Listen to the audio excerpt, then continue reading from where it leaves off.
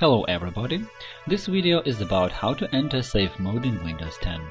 This mode is meant for troubleshooting of the operating system, but the range of Windows functions in it is very limited.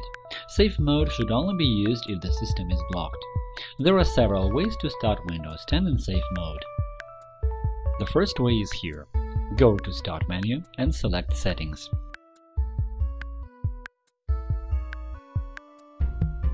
In the next window, go to Update and Security and click on Recovery and now click on Restart Now. Then wait for, the, for Windows to restart. In the window of selecting your, your next step, click on Troubleshoot, then Advanced Options and Startup Settings. Then Windows will tell you that the computer can be restarted with the use of advanced startup settings, and one of them is Enable Safe Mode. And then click on Restart. In the next window, press F4 and wait for the system to boot in safe mode. The second way is this. Press Window and R on the keyboard and enter msconfig. Press Enter In the Boot tab, check the box Safe Boot.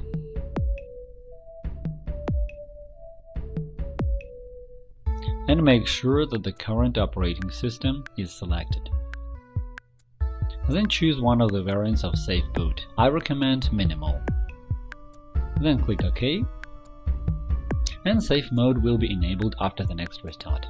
The third method is like this. If your system boots but you cannot log in, you see a lock screen. In such situation, press power button and click on restart while holding down shift button on your keyboard. As you do that, follow the steps described in the first method after restarting Windows. The fourth method. If your system won't boot at all, for this method you will need a, to use a boot disk or a flash drive with Windows 10. If you don't have them, you can create them on an auto PC or recovery drive. To learn how to create a recovery drive, watch the previous video. I will show you how to enter safe mode by using a recovery drive. To do it, go to BIOS or UEFI and make your computer boot from the recovery drive. In my case, it is EFI USB device.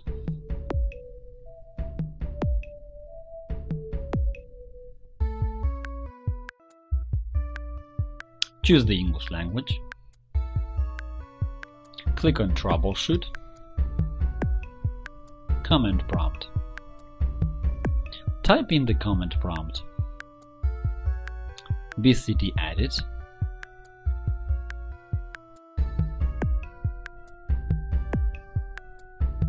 set default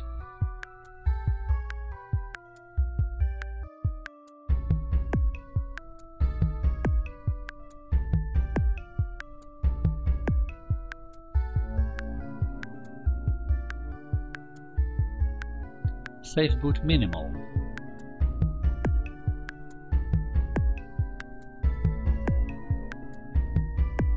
And press enter. We can see that the operation is completed successfully. Now restart the computer and Windows 10 will boot automatically in safe mode. To disable automatic uh, booting the safe mode, log in as administrator and go to command prompt by pressing Windows and R. And enter CMD. In the command prompt, enter bcdedit, delete value,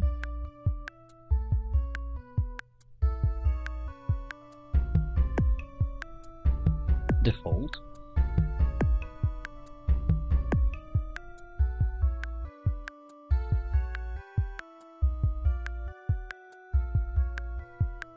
Safe boot. After the system restarts, Windows 10 will boot automatically in regular mode.